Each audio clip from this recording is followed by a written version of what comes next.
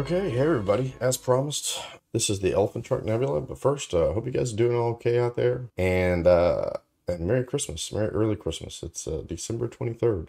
So hopefully I will get this uh, video uh, processed and edited and out before Christmas. But I'm not making any promises. You guys might be getting cold. I don't know. Anyway, as promised, this is the Elephant Trunk Nebula that I shot with the William Optics Z61 and the ASI 1600 MM Pro. And just wanted to kind of go over uh, some new techniques I'm using uh, to get to the final image. You know, it's always, process is always organic. I'm always learning. There's always new tools coming out. Blur Exterminator. And so, yeah, so we're going to be using uh, some new stuff, some new stretching techniques, some new uh, star manipulation techniques to get to the final image here today. So I'm going to try to leave this image as wide as I can, even though it is going to take a little extra time to do that. But uh, here we go. Let's jump into it. So as you can see on the screen, HA data, S2 data, and O3 data. As usual, O3's got some bright corners and very little signal, but good enough. I believe this is about 30 hours combined. And I would say probably 15 of that would be the HA. Okay. So they are, let's double check because I'm so bad. Like I'm so bad. I used to be bad at stacking separately, but with the new WBPP, um, I don't. Works out a whole lot better. So they are registered. I guess that's, yeah, I did register them. So they're star aligned. Uh, and now it's just to decide how I want to crop them. And I always like to use my highest signal to noise uh, data to, to crop. And honestly, ain't cropping. it's good. It's good. Let's minimize these. We're going to use our, where'd you go, S2? Where are you hiding at, buddy? We're going to use the hydrogen as our template for DBE. Do a background extraction on this thing. Uh, so we're going to come up here to process, background modelization, dynamic background extraction. Now, there is a ton of nebulosity in this image. There's very little background sky. So we're not going to put a whole lot of points. We're going to click the image to link the two, make a little love connection here. Uh, I want to always adjust my tolerance up. Would be more tolerant. I should be more tolerant in life. Anyway, uh, we're going to start at 1.5. Drop down this list of sample generation. It's it's choosing this default sample size of 29, so um, I think that's going to be okay. So I'm just holding down the space bar, looking around. I'm just going to put a sample right up here in the corner. And I'm looking for the darkest areas of the image, even though this is dark nebula. Dude, I don't know what this is, man, but I just want to process that right there. Just like one of these days, I'm just going to do that because that is like tricky. I don't know if that word applies to this. Anyway, we're just going to go along. We're going to put the uh, sample generation points not on stars. We're not going to make them too big. I'm just going to move along here. Get them in the background areas. We're just telling PixInsight we think this is background based on our knowledge of the night sky. And this is what we want you to sample PixInsight. And PixInsight says, aye, Captain. Uh, yeah, so see, we didn't do many. I really don't, I really want to stay away from these higher signal to noise ratio areas uh, just because I don't want to deplete them. Uh, so let's back out here. See, not a lot. Uh, but we can come back down here and target image correction. And we're going to do division. And I do not want to see the background model. And I'm going to hit the green check mark. We're going to see what, what it comes up with. I've got the STF already down here, so I can hit the... Ooh! See the difference? Big time. Uh, so this is our new HA data. And we can double click on that uh, the identifier tab there, and we can just type HA. shorten up these tabs, minimize it. And let's move it over here to our little space. So now that we know that works, we're going to drag our instance off. Put it right there. And that has all of the sample points set on it. So that is very loud. Whatever. Uh, okay, so we can delete this image. And we're going to open up the O3. O3 might need a little more work on it, so let's minimize that. Let's do the S2. S2 and HA mimic each other quite a bit. Uh, so all we got to do now is just double double click on that instance. You ever have trouble double clicking like your finger just doesn't want to work? Uh, so I, those sample points look good there. So let's hit the green check mark and see what it comes out with. Yes, I like it. Let's double click on the title and we're just going to name it S2. And we're going to close the old S2 image. Let's open up O3 and we're going to see what these sample points do. Um, now, one thing to notice if you're doing this and you see in your sample points red, you're going to need to increase your tolerance until everybody's green. So let's just run it and see. Usually O3 is the hardest. Merry Christmas. All right, so that one worked out great. Didn't need to do any adjustment on our dynamic background extraction sample points. So O3, renaming it. Okie dokie. Close it down. And let's close the tool. Now, uh, here is is uh, technique number one. I have found that running a linear fit something a lot of people do, and I do when I'm doing RGB, but I found if I use a linear fit and use my S2 data, which would go in the red channel, as the uh, target image, it seems to start to push the green back from the very get-go. So,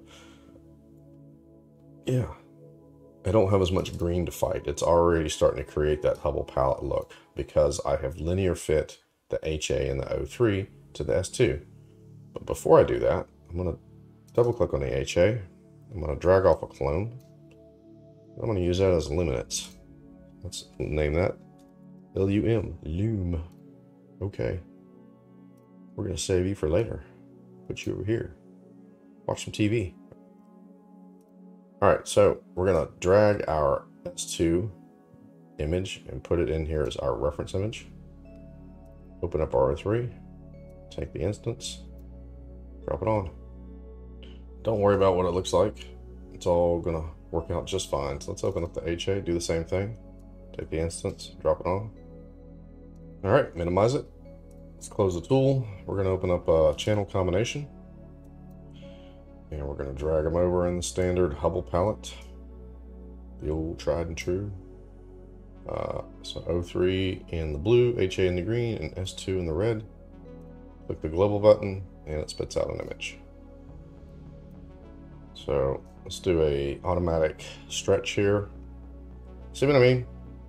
I think before, even though, and that's all the channels linked. So if I unlink them, see, it's even better, right? And you guys know, if you've done this before and you have all your channels linked and you have that dominant HA, you just get a big green Hulk smash image. But right now, I've almost got a really better, I think, beginning of getting that green back like we want, you know? So let me know in the comments if you try this and you find the same thing. I have not found this to work for every data set, but especially stronger data sets works really well. So enough of that. That's what we're doing. Don't think I'm going to do anything else to this right now other than stretch it. I think I'm, I'm done with that. I'm not going to, not even going to try to push the green back right now. I'm just going to stretch it and probably remove the stars. Yes, we're going to stretch and remove the stars. Uh, so right now, the next new technique does it come in here to script, utilities, and come down to generalize hyperbolic stretch. This is a plugin. Um, you're more than welcome to go look it up. It's really easy. You guys should know by now how to put these new um, scripts in. So let's double click on the script. Uh, this is image 13. And I'm telling you, I, I really didn't like this at first. I downloaded, I watched a video and I was like, eh, okay. But after using it, I, I think this is the only way I'm going to stretch for a while, unless I come up with something better. because this really, really is awesome, especially for stars, keeping those stars in check. It's the whole name of the game. All right, so uh, target view, we want to drop down that list here and choose our image. And it's going to say, do you want to turn off the screen stretch? Yes, we do. I think I kind of showed this on my last video. I was like, eh, eh, you can use it if you want. Yeah, I'm using it. We can slide this zoom, and all this is is zooming in on our histogram here. Slide it in just to see it a little bit better. And then the stretch factor down here, what I want to do is I want to start applying a stretch to it. You're going to see that red line come up. It's familiar, starting to stretch. So everything back here would be black sky. This is, up most of this is black sky. Very little of this is data, and you're going to see how much actually is data. And that was the interesting thing. So you're starting to see the image reveal itself before you. Just keep stretching. And you want to get to that point. See, that's a little too much. You want to get to the point where you like the background. You like the brightness of the background. That's what I've found. That being said, I want to pick an area out here where I can tell that there's background or darker parts of the sky, and then I start to migrate into some nebulosity. So probably something right in here. I want to draw, just click on it and draw a box. And that is going to be a zoom preview. See, we've zoomed into it. So you can see I've got nebula here. I've got eh, very faint nebula here. So I'm just going to click one time, and that's going to put a sample point, just kind of like DBE. I'm going to move that in until I see some of the fainter nebulosity. So and you can see when I'm doing that, you see up here, you see these values change. So I'm going to say right about there. And that, what it's doing is that is going to be the baseline. That's the nebula it's going to show first, salvage. So I've found knowing this I see a lot more faint nebulosity in my final images than I ever have. So let's pick that point right there. what we're going to do is that value of point not not not 85, we're going to send that value to SP, meaning that's our symmetry point right here. See it says 0.0085. So we can click out, back out of the zoom. And now what we want to do is we want to adjust our local stretch intensity and you're going to see it's going to flatten out. But you see this yellow line. Let's zoom in here a little bit more. So basically what it's saying is that yellow line is 0.000, wait, that's too many zeros, 0.0085. So what it's saying is all of this hump is really background sky and stuff and, and stuff we're not really interested in trying to bring forward. So the rest of this would be data. And sometimes you'll see that line way over here. You're like, man, all that's garbage? Yeah, all that's garbage. This is all we're interested in. So we're just going to flatten it out. And, you know, any in a range from 5.6, well, 5 to 10 would be where you're going to be at.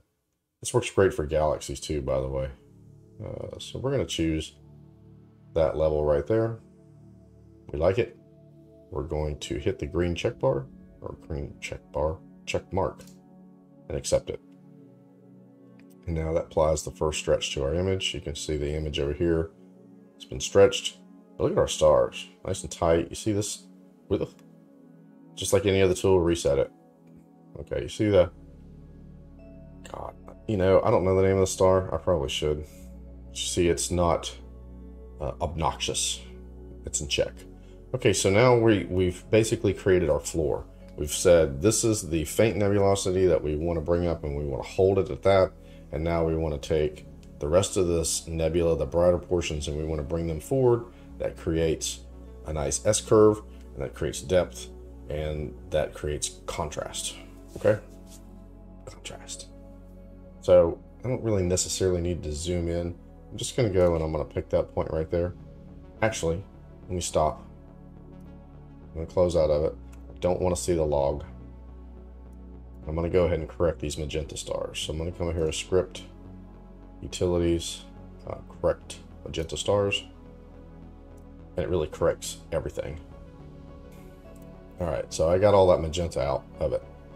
And the next thing I think I'm going to do before we dive back into GHS is I think I'm going to go ahead and pull the stars. And the reason being is I very rarely in my new processing workflow, I very rarely use the, the colored stars. I use the luminant stars that pick up the color in the background.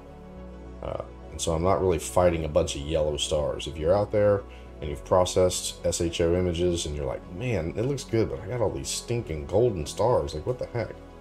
This just gets rid of it. So let's go over here. Let's uh, bring in old Russell Croman. He's a badass. Uh, we are not going to generate uh, a star image. Star Exterminator, by the way. And we're going to go ahead and remove the stars. Be back in two and two. Whew. Russell Croman, your tools are amazing. Uh, okay, stars are gone. So let's open back up uh, script, utilities, and generalize hyperbolic stretch. And there are some different stretch types down here, just so you know. There's histogram, there's arcsine stretch, arcsine, arcins, arc, oh, whatever. Uh, there's oodles of different stretches. I have not used any of these in within this tool. I've used them all separately. I just leave it default to the generalized. GHS. All right. so once again, let's choose our image 13. Start bringing this, uh, bringing this bad boy up here. Cool. And we're going to select this brighter region here. Don't forget to send your value. Send it. Send it. Like that package you didn't send for Christmas. Like me. Okay, so now we are going to adjust our stretch stretch factor because we didn't stretch before. And you can see the image is getting brighter. We're lifting the image here. And you're just wanting to look at it. Uh, I like that, so let's select it. We're just adjusting this incrementally. Okay.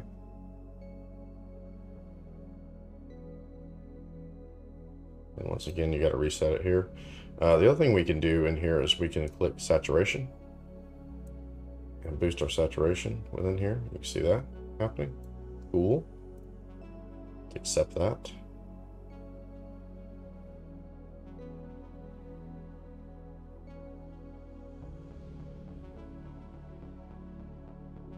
All right, reset the tool. Let's choose a little brighter area.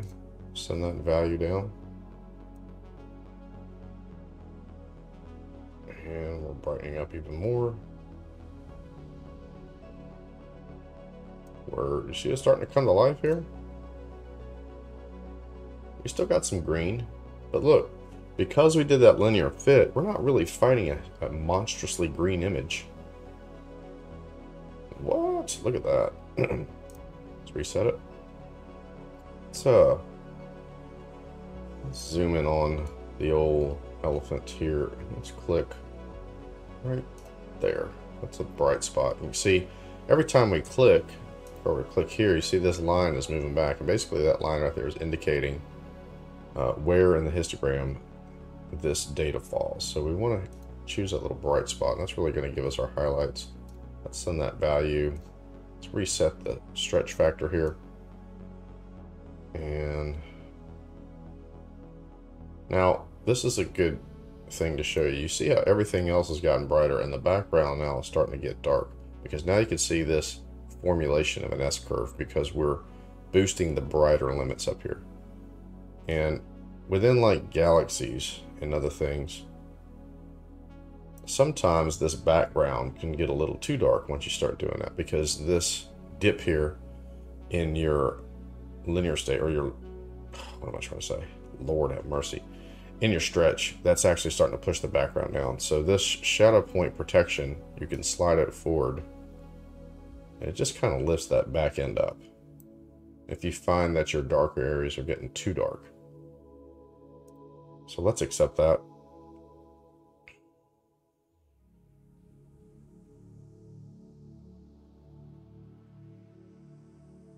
All right. I think I'm good right there. I don't want to really oversaturate it too much. I'm going to go ahead and close out of the tool. Yes. And now I still have some green. I'm going to show you another way of getting rid of that green. SCNR is a great tool, but what it does is it kills a lot of the luminance that the green provides. So instead, let's come in here to curves. Let's open up um, a real-time preview. We're gonna see how we got some kind of fuzziness in the back. I've noticed that with GHS, and, and I usually end up getting a great image, especially if I leave the stars in, and I'll show you that when we do the luminance. But sometimes I want a little more separation here. So I'm just gonna drop this back end down. I'm gonna raise it up. And that's gonna give me that fall off that I'm looking for. Let's see right there. I can actually just kind of brighten the principal portion of this. So I've just created a small little S curve in here. And I'm going to open up my hue. And you see I've got green here. You see it coincides up here on this side of the line. So what I'm going to do is I'm going to I'm going to surround it like a SWAT team. I'm going to pin the line. And it is going to get a little curvy. I'm going to come ahead of the green up here. Right there. Basically what I'm doing is I'm holding that line down. So I'm to come right here. You know, if I click, you can see there's all that green is right in there. So if I just take this and drag it, you can see it really just kind of pulled that green and made it more teal. So going that way actually really kills that green out. Actually turns that to all yellow. So that's a good way to kind of get rid of your blue. You can see now we have a good contrast. Um, and the other thing we can do is actually just come in here to the green channel itself and just pull it down a little bit. And accept that.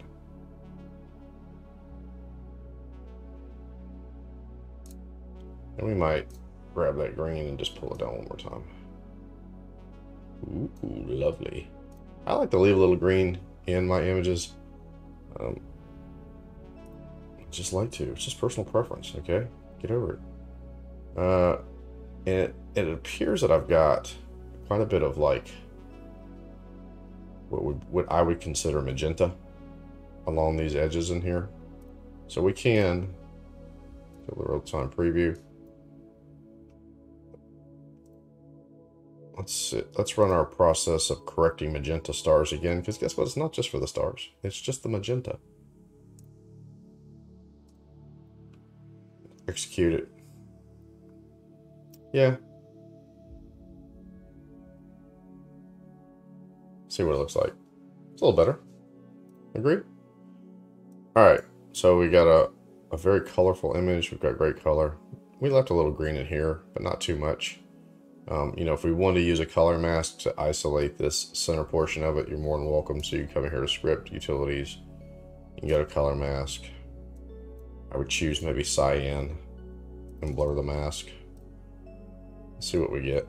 I'm just going off on a tangent. I went like that.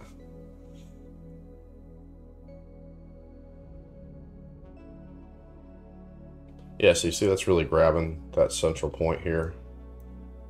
Um, I typically convolute the mask even more, which means to blur it.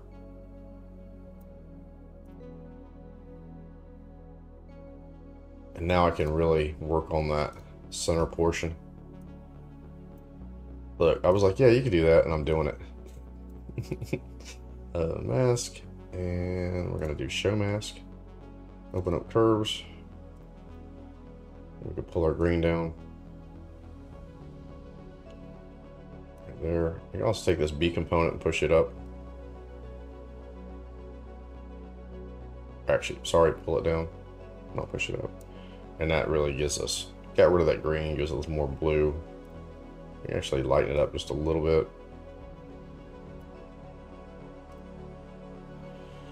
I never have been a big proponent in, in a very strong blue. See, that would be too much there. I like that. Okay. Um, let's close that out. And we're gonna right. I've always that's how I'm accessing this. I'm right clicking on the image and accessing my mask tool. So mask, and I'm going to say remove mask. And I can open the image back up and blur it. Real time preview. Just gonna push it over here. We're gonna blur the crap out of it. Make it smooth, man. Smooth. Alrighty. So our color image is done. Push it down here. I don't know if we need this mask anymore we can put it. I like a clean house. Okay, fun times. Luminance. This is where all our details and garbage come in.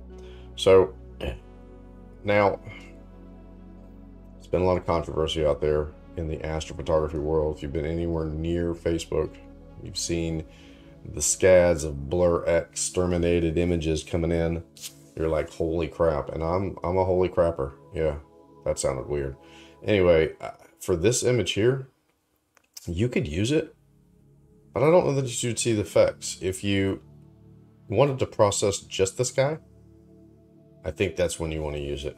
But all the way out, eh, nah. I mean, you might be able to see it, but you'd really you'd have to pinch and zoom and really and really look into it to resolve what it does. Not saying it's a great tool, it is, uh, especially for galaxies. It's amazing for galaxies. Um, but for this image, I'm not going to go through the process. I will probably do a galactic image, maybe M51 that I did, that I was like, like that. So I'll do that in the next video. All right. Keep you watching. But I am going to call him back later. Uh, I am going to use the noise exterminator on this. And the noise exterminator actually will do some sharpening as well, believe it or not. So let's open up Russell Croman's noise exterminator. I am going to go ahead and boost those details to the low 30s. I'm going to leave the denoise set at 0.9. Let's drop it on to our preview. And let's go in here, uh, Control Shift and Z.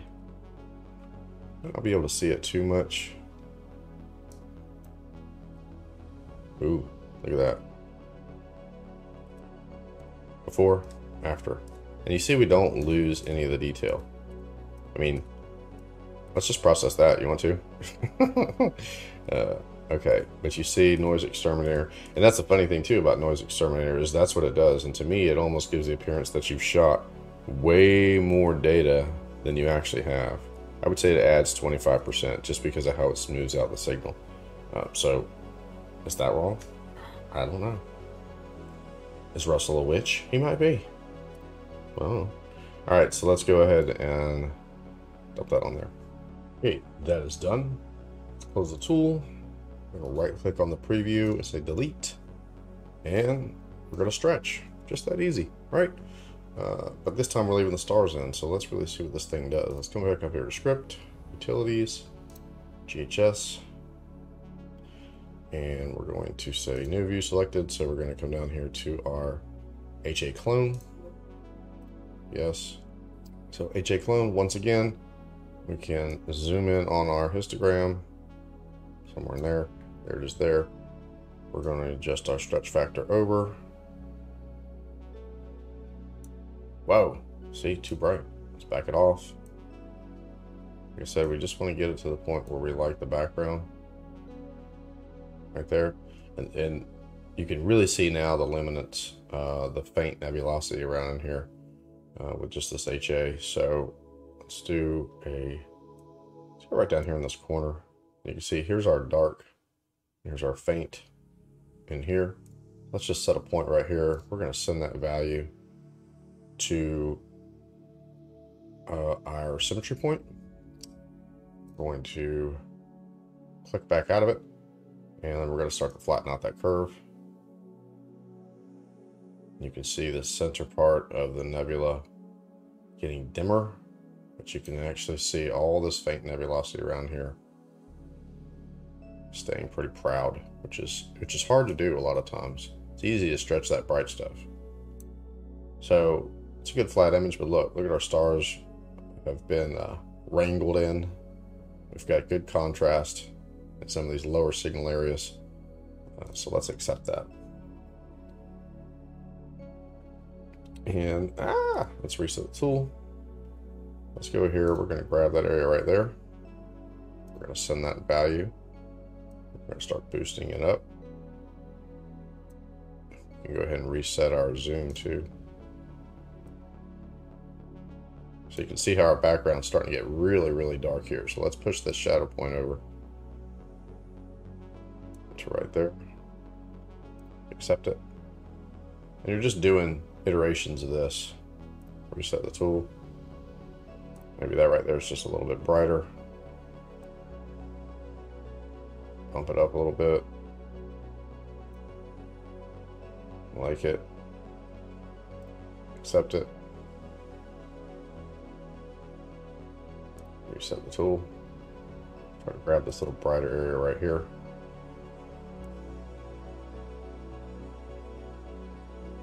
Oops, hold on. Look at me.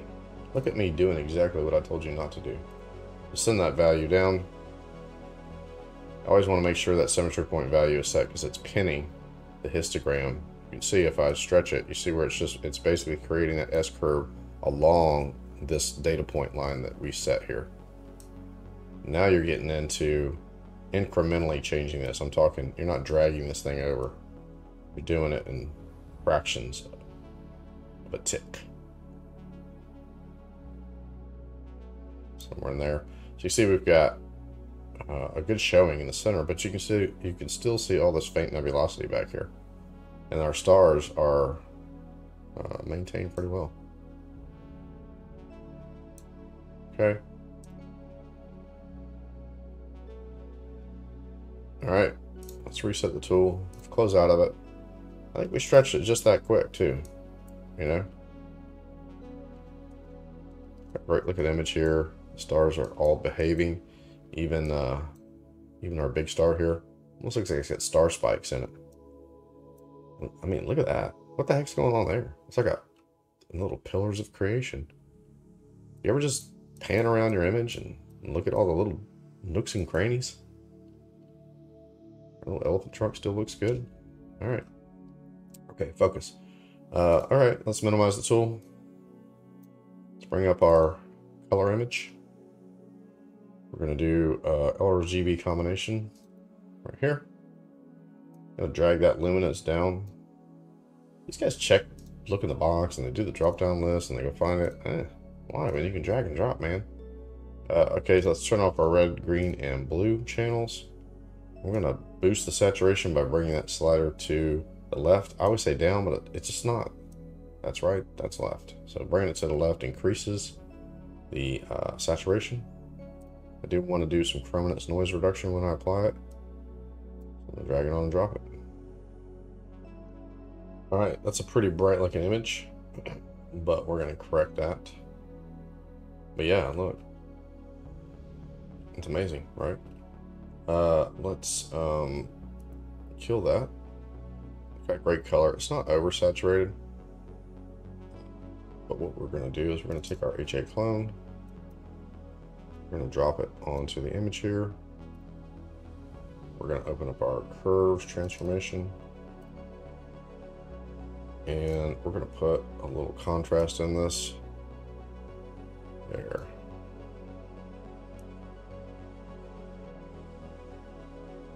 Right about like that. Cool. Okay.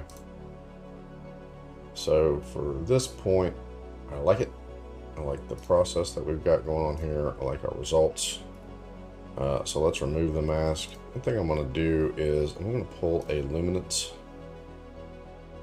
image. I'm going to invert it and kill just a little bit of this blue back here. Notice I've got a little blue in the background, so I'm going to drop that on. I'm going to say mask, I'm going to say invert mask.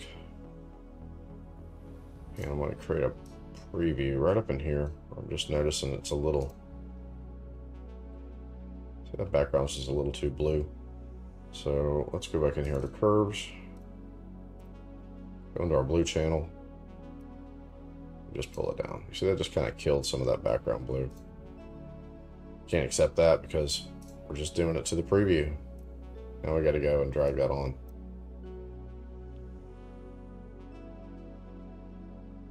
Muy bien. Much better. Bugging me.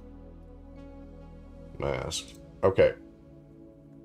So we've got a great looking image here. So we're to do another technique, which I'm really starting to dig here and requires to, once again, pull the stars. Remember, these stars are not color stars. These are just the luminous stars, but you can't really tell, right? I mean, look at this star. Looks yellow, right? But let's pull our stars. This takes a little bit, but we do want to generate a star image. And I'll show you how I'm going to put them back on. Here we go. All right, our stars are gone. Let's uh, close the tool. Thank you, Russell. Appreciate it, buddy. There's our stars. Okay, so here's the trick. And, and just as a warning, this is image manipulation for all you purists out there. Sorry. But we are going to do, what we're going to do is enhance the nebulosity. We're going to bring the nebulosity forward. What do I always say a great image uh, consists of is depth. And we're going to use that, a new technique to create more depth.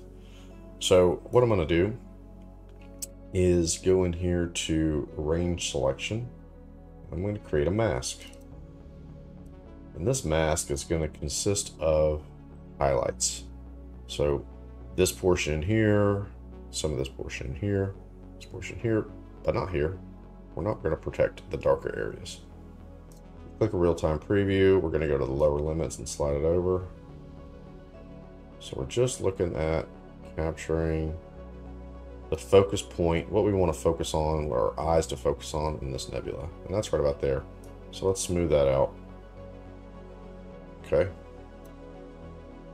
And let's accept it. And I found range masks work way better than any other kind of mask. Uh, I think I want to blur that just a little bit more. So open up the convolution tool. Real-time preview. We're going to jump right over here to the top part of the standard deviation. And put a little more blur on it. Okay.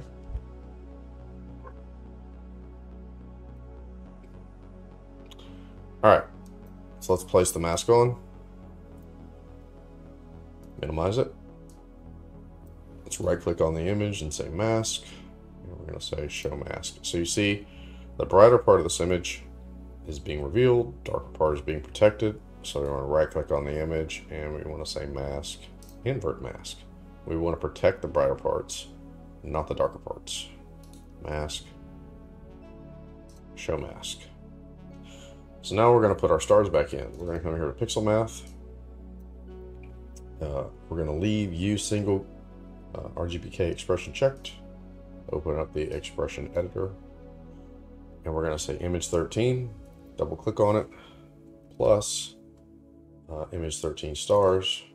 I'm going to diminish the stars just a little bit and say times 0.8. Okay. And click that. And the destination, let's do the drop down. It is set to replace. So let's drag and drop. So you see what it did is set up there. We're going to minimize that. It only put the stars in the background. There's no stars in the nebula. I'm like, what? Steve, hold on, buddy. Whoa, I was with you there for a while, but this is strange. Yeah, I know.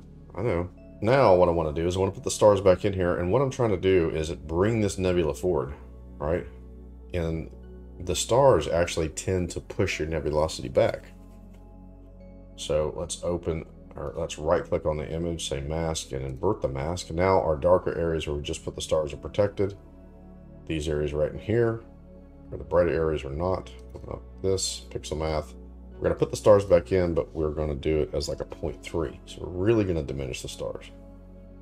And drag and drop. So you can see it put it back in, but they're probably a little too dim. So this is where you're just gonna adjust that number. So let's boost that up to maybe 0.6. All right, so now we've got stars kind of in here. You can really see these stars popping in here. Uh, but what it did is it really brought that nebula forward to me, okay? So we're minimize that, mask, and we're going to remove the mask. So the next thing I want to do to really get this thing to pop even more is I want to create another range mask with everything in here, the stars, and what I'm looking to do is get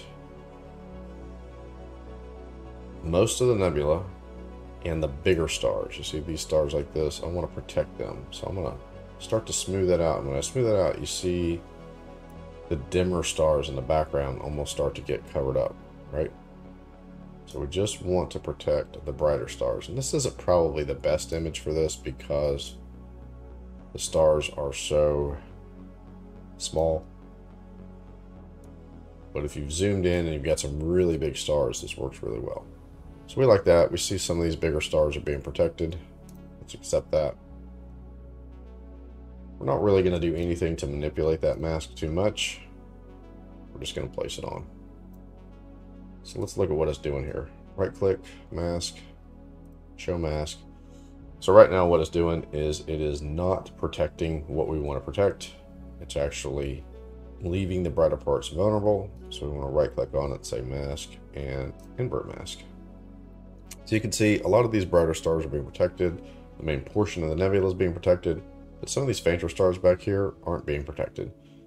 And that's what we want. Mask, uh, show mask. So we're going to do a preview right about here, right? We're going to see our stars. You can see that really bright yellow star is really behaving. So what we want to do is open up our convolution tool and we're going to blur it. And if you've ever looked at images where you know, oh my gosh, this is 3D, what like human beings, we see 3D. And the reason we see 3D is because whatever we're focusing on is in focus and the background is blurry, right? Uh, a lot of animals like white-tailed deer don't see 3D, they see 2D. Everything's in focus or everything's blurry. So we are able to determine depth. Huh, there's that word again. So what we're going to do is open up um, convolution tool, do a real-time preview of that preview window. And we're going to move this lower limit over. We're just going to create a little bit of blurriness. Now you see this portion of the nebula is still sharp. Background here is still blurry or has become just slightly blurry. And this is going to really give our image some depth. Um, we like that, so let's close the real-time preview. Let's go back in here to the image. Let's drag and drop. And I warned you. I warned you. So from YouTube land, you're not going to go, oh my gosh, I totally see what he's doing. It's it's subtle. I'm not doing anything drastic. Mask, remove mask. Cool. Now we're going to do one more step, and unfortunately, he's protecting us. Unfortunately, this is going to require Photoshop. Sorry. Uh, you can leave it like this, or you can go and follow me in the Photoshop. Um, we generated a star image, which is image, this image here. So let's come in here and go File, Save As. We're going to save it as a TIFF. And let's right click on here, so new folder, and we're just going to call this XX. I don't know. So this is our image 13 stars. We're going to save them 16 bit, minimize it. We want to save our image file, save as image 13 TIFF 16 bit. All right. Follow me. Okay, let's go and find. Ooh, I did the bubble nebula last night with the BlurXTerminator. Oh my goodness. Uh, let's go in here to where the heck are we at? Oh, new volume. 1600 Z61 Elephant Trunk Nebula processing. Good grief. Double X, not triple X. Let's open up those two images. We are going to say Control A and Control C to copy this image. We're going to go here to image 13. We're going to drag it down a little bit and Control V to paste it. We're going to take the background, this one here, they're, they're identical. Move it up thing I want to do before I do anything else is I just like I love the camera raw filter.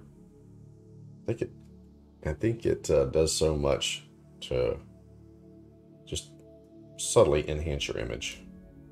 Create a little vibrance. I'm gonna dehaze it just a little bit and add a little clarity to it. I just can't help myself. that. Just a little bit. Okay, uh, so top image is selected. Let's come down here to our stars. See our stars right here? These are stars in full. They weren't manipulated. And we're going to change the blending mode to screen. Back up here to the top image. Go to our eraser tool. We have our flow and opacity set at 100. And then now some of these stars that seem a little... Uh, come on, zoomy, zoomy, zoomy. Good grief. Uh, eraser tool. Now we can just turn it back on. Once again, providing depth. And as always, I'm not going to bore you with this. Look at that. Ooh, man. Some of these brighter stars, we're just popping them back on. We're saying sorry, we didn't mean it. Take it back. A lot of you other guys need to just take a bow. Take a back seat. Elephant trunk is awesome. That's all we're doing. And again, it gives the appearance that I don't know what that little thing is down there. That is not a star, by the way, ladies and gentlemen. That's some bright ass little planetary nebula, Abell nebulosity, something or another. I should really know more. Uh, okay. I could do this all day, but I won't. Like, I get it, I get it, I get it. Alright, I'm done. Okay. So, you can see, I'm just twinkling some stars in there. Wait a minute. Now you can see. That's all we're doing. Bringing them back to life. Giving them, once again, right? I mean, if you look at this and you go, wow, look at that. Uh, uh, look. Oh, oh, they're closer. About to run into them. And you could just turn these on to your heart's content. Some of these bigger ones. And you can also zoom in here and you can see how this is blurry, this is sharp looking, you know. It's just that, if you were to print this image out, you're like, man, that is awesome. Okay. So, layer, flatten image, um, and then file, save. We're going to do Unomas. Unomas, one more thing. Come back in here to PixInsight. Minimize this old image. Come here to file open. Triple X, open our image 13 back up. And it's going to be called image 131 now. It adds a 1 if there's a duplicate. Um, we're going to take that range, this, uh, so this one, this one. Yeah. We're going to give that a little more sharpen. There's the mask. Mask. Uh, show mask. Let's do a preview window. Let's just grab that whole area right there. And you know me, an MLT. I love MLT. Uh, and I already have that set up here. It's somewhere right here. MLT sharpen. These are the values. Uh, first layer nothing, second layer 0.1, third layer 0.75, and fourth layer 0.02. Uh, this is very aggressive. So for this, I'm not going to be that aggressive. I'm going to click. I'm going to change that to 0.05. Drag and drop.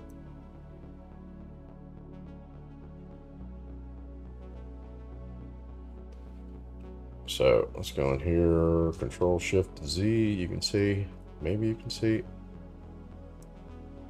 Where at, Elephanty? You can see, just kind of yeah.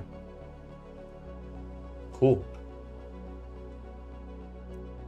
Back out. Drag and drop.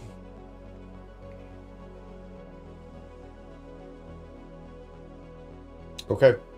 So this by means was not a video to say this is exactly the end result I want. This was just to go through the steps. I probably would have done a lot more work on the color. Um, let's say remove mask but it was to go through the steps. So definitely take your time when you're going through that to get the colors just like you want them. I think I probably would have tried to put a little more blue, a little more saturation in this, maybe made this area a little more red. But see, like I said, that's, you know, you can just pull the green out and, and add saturation to it too. And that's, that's as pure as it gets. Um, start to see this little tail in here. That's always cool. So yeah, that is uh, Elephant Trunk Nebula with new techniques. We got a nice bright God, tell me what the name of that star is in the comments, please. I swear to God.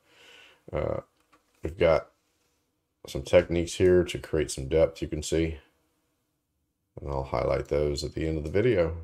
Yeah.